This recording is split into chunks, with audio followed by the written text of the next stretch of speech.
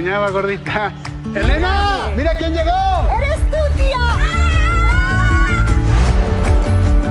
Da mucha alegría que estemos todos juntos después de tanto tiempo. Pues raza desvelada, como lo estuvimos diciendo toda la semana, es un honor, placer y privilegio para mí entrevistar a mi buen compadre y amigo Marcelo Tobar, que aparte de ser el hijo pródigo de la Universidad de, de las Películas de, Film Movie Institute en Vancouver, es también una de las personas influenciadas por el Lord del cine Steven Spielberg, que al igual que yo vimos CT y dijimos, algo tenemos que hacer con la tele o con el cine. Marcelo Tobar, gustazo tenerte en Desvelados.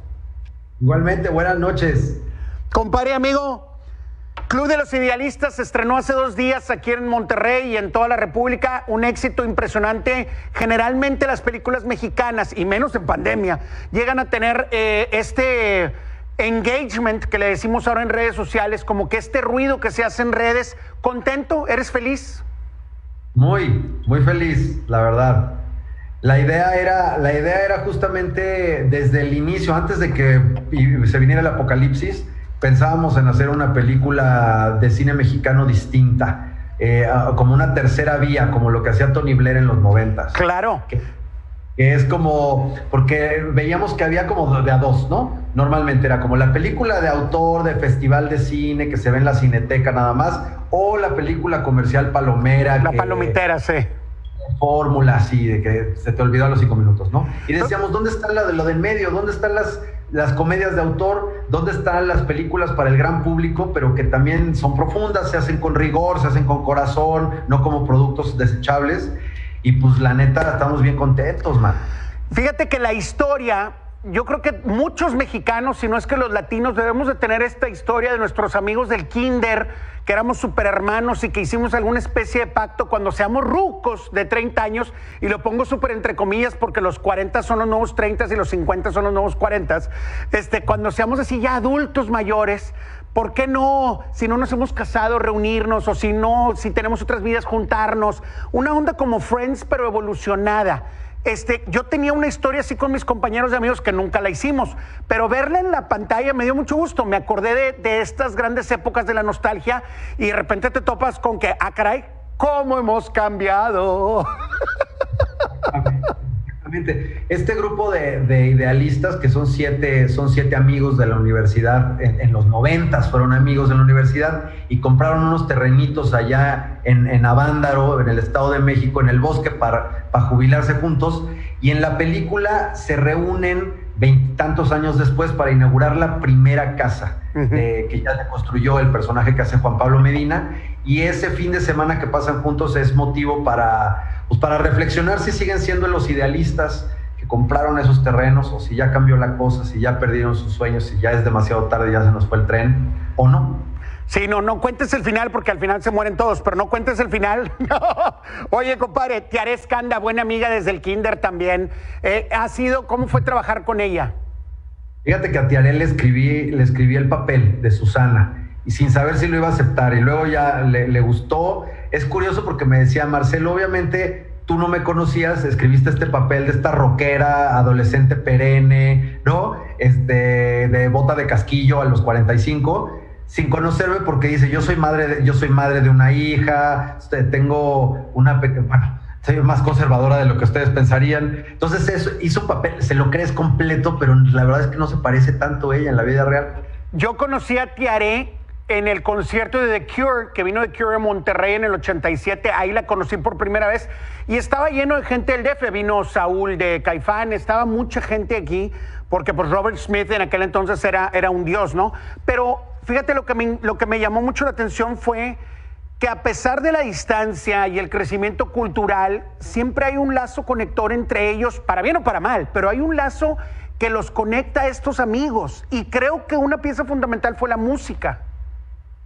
Sí, totalmente. Además, el soundtrack de la película, que es como el, el rock latinoamericano, e incluso hay algo de España, que como de, entre los ochentas y principios de los noventas, eh, que son dos generaciones de, de, cantautores y de rockeras y tal, pues todo el soundtrack de la película es por un mixtape que tiene uno, eh, que tiene Juan Pablo Medina, que lo hicieron cuando iban en la universidad y que le pone play en la película desde el inicio y esa, esas canciones nos van acompañando como todos los arcos que van teniendo todos los personajes, porque además hay que decir que, que todos, el, cada uno de los siete amigos tienen su parte en la historia, ¿no? O sea, se cuenta un poco quién es cada uno. Claro. Porque igual, ¿no? Como todos ocupamos un espacio dentro de nuestros grupos de amigos y pues escoger a tres y no contar los otros cuatro, pues y luego los calladitos son los más interesantes. Bueno, pero acá entre nos todos tenemos este chat donde estamos todos y hay otro donde es el más petit comité.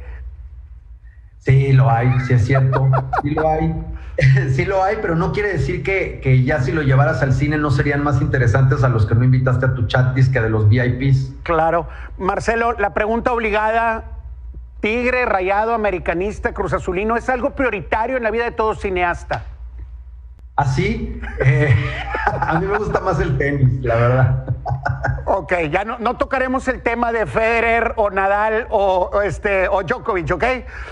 Soy de Serena Williams, nada más te puedo decir, le voy a Serena. Es todo. Compadre amigo, mucha raza en México a raíz del triunvirato sagrado de, ya sabes, los tres mosqueteros y los tres amigos ganadores de Óscares han querido entrar a esta industria del cine.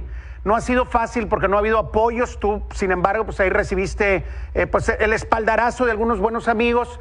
¿Cómo le pudieras decir a la raza que quiere empezar o que quiere tener ese sueño y quererlo cumplir de hacer un cortometraje o hacer una película? ¿Cuál sería el camino del bien y la salvación?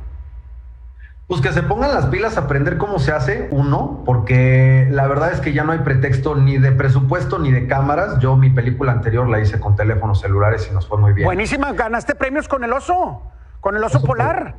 Oso, sí, sí. Este, entonces, si puedes hacer una película que gana el Festival de Morelia con tu teléfono celular, este, lo que falta nomás es, es tener rigor, ver películas, aprender lenguaje cinematográfico, aprender a expresar tu voz y no andar copiando lo que todo el mundo hace, porque pues nadie quiere ver tu película si nada más andas copiando, mano, la verdad. Pero no hubo algunos homenajes por ahí, porque yo de repente veía unas tomas en tu película y decía, ah, caray, eh, esto lo vi en Back to the Future. Digo, obviamente no, no se las voy a spoilear a la raza, pero no hiciste algunos homenajes por ahí. Este director, generalmente algunos directores meten ahí algunos easter eggs o guiños. Más bien eh, me inspiré para hacer la puesta en escena de, del Club de los Idealistas, me inspiré mucho en Lars von Trier, aunque él no hace comedias, pero a mí me gustaba mucho, incluso desde Soderbergh en los noventas, que empezó Excelente. a hacer estos jump cuts y que pone la cámara por todos lados y ya no hay continuidad, ya no importa si alguien tomó el vaso con la izquierda, con la derecha, que ahora lo hace mucho este, Adam McKay en, en, en, películas como The Big Short o en la serie de Succession de HBO. Sí.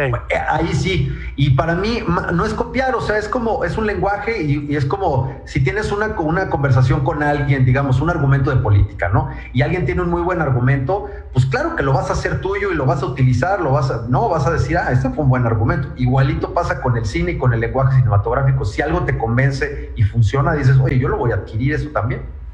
Compadre, amigo, te deseamos toda la suerte. Lo cierto es que eh, la gente que hace Desvelado Cine y el resto del staff, que somos muy cinéfilos, fuimos de los primeros cuatro o cinco güeyes que nos dejaron entrar ahora con el regreso a las salas.